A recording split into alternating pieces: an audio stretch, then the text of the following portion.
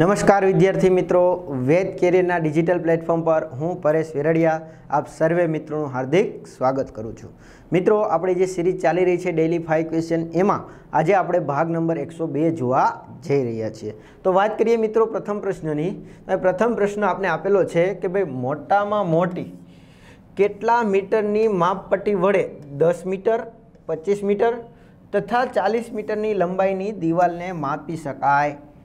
એટલે આપણે કીધું છે કે મોટા મોટી કઈ માપની પટ્ટી લઈએ, તો આપણે આ ત્રણેય છે એ માપપટ્ટી માપી શકાય.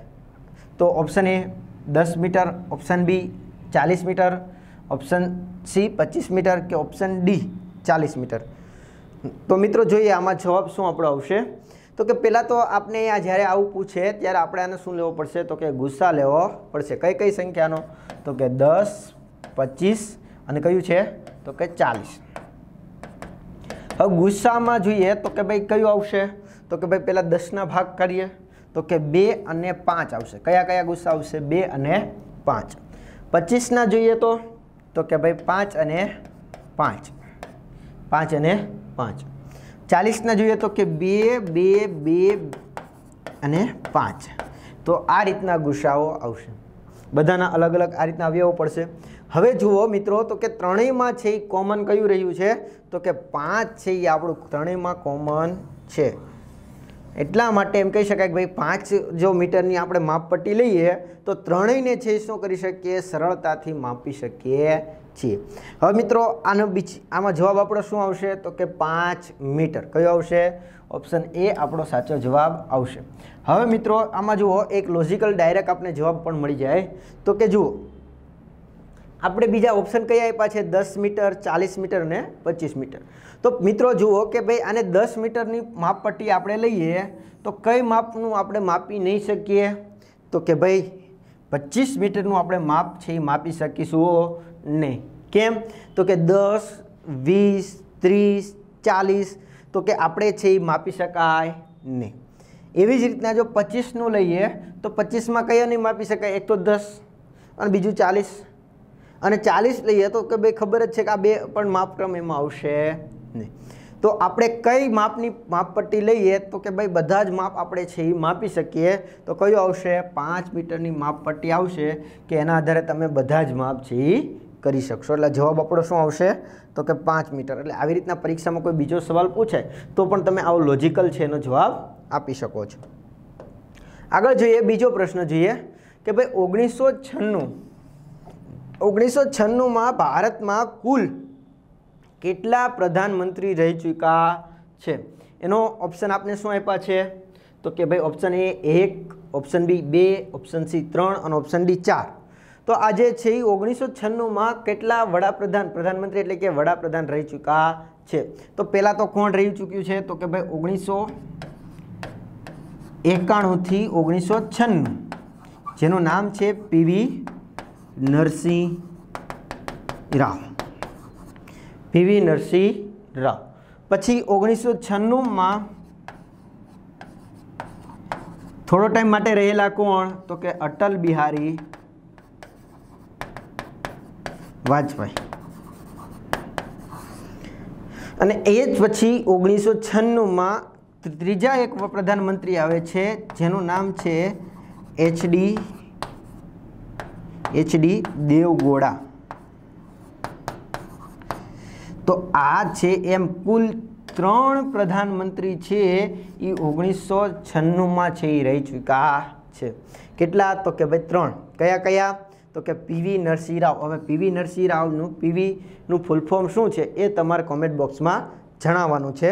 ઓગણીસો છન્નુંમાં એમ કહી શકાય થોડા ટાઈમ માટે છે કોણ રહ્યું હતું? તો કે અટલ બિહારી વાજપેયી. અને ઓગણીસો છન્નુંમાં જ એમની પછી કોણ પ્રધાનમંત્રી આવ્યા હતા? એચડી દેવગોડા એટલે એમ કુલ કેટલા આવ્યા? તો કે ત્રણ. પણ એ સમયે રાષ્ટ્રપતિ કોણ હતા મિત્રો? તો કે ભાઈ શંકર દયાલ શર્મા. કોણ હતા? એ સમયે રાષ્ટ્રપતિ કોણ હતા? તો કે શંકર દયાલ શર્મા રાષ્ટ્રપતિ હતા.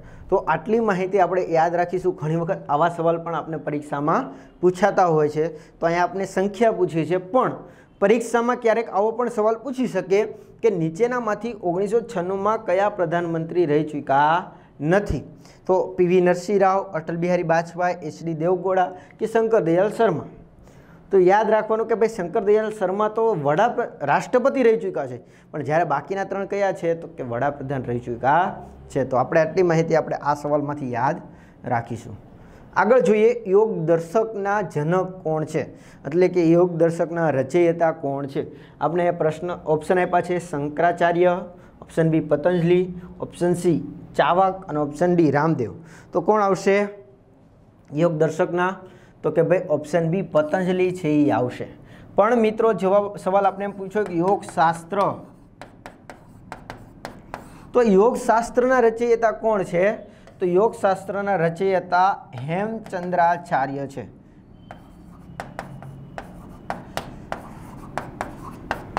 આ હેમચંદ્રાચાર્ય છે યોગ શાસ્ત્રના રચયિતા છે. એટલે ખાસ ધ્યાન રાખજો. પરીક્ષામાં આપને કન્ફ્યુઝન ના થાય. યોગ દર્શક પૂછાય. તો પતંજલિ આવશે અને યોગશાસ્ત્ર પૂછાય તો કોણ આવશે?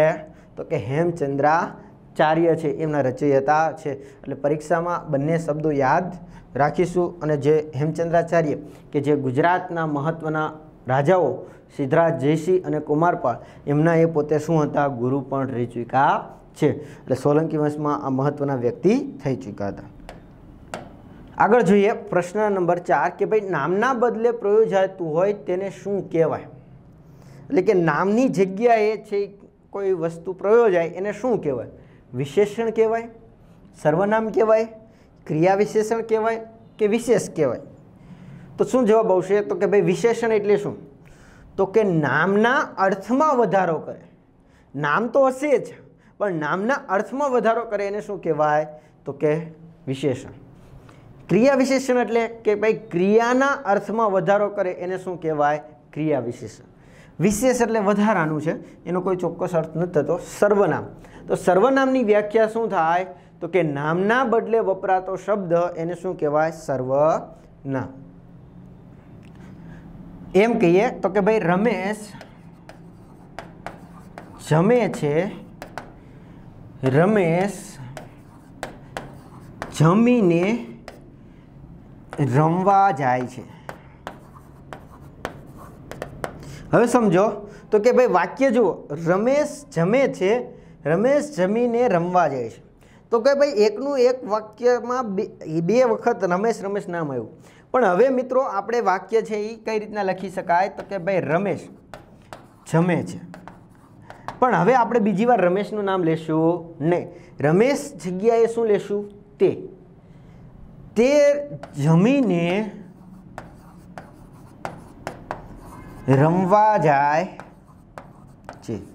તો શું થયું? તો કે રમેશની જગ્યાએ કયું નામ આપ્યું? તે. તો આને શું કહેવાય? તો કે સર્વનામ કહેવાય. તો આપણે વ્યાખ્યા પણ શેની આપી હતી? તો કે ભાઈ નામના બદલે જો આ નામ શું હતું? રમેશ. તો રમેશની જગ્યાએ કયું આવી ગયું? તો કે તે. તે આવે, હું આવું, તમે આવે આ બધા છે એ આવી શકે.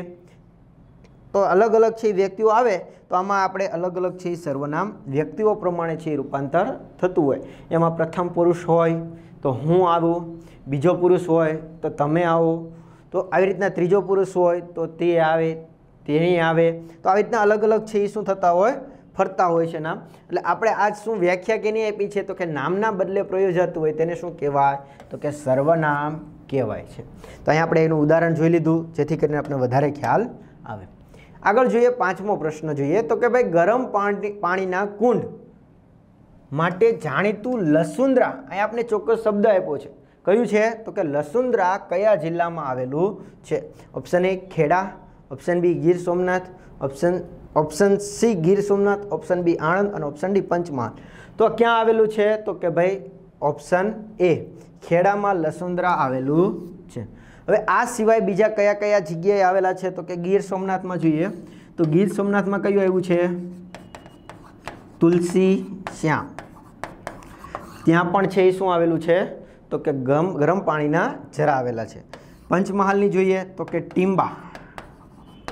ટીંબામાં પણ છે એ શું આવેલા છે? તો કે ગરમ પાણીના જરા આવેલા છે. આ સિવાય તો કે ભાઈ નવસારી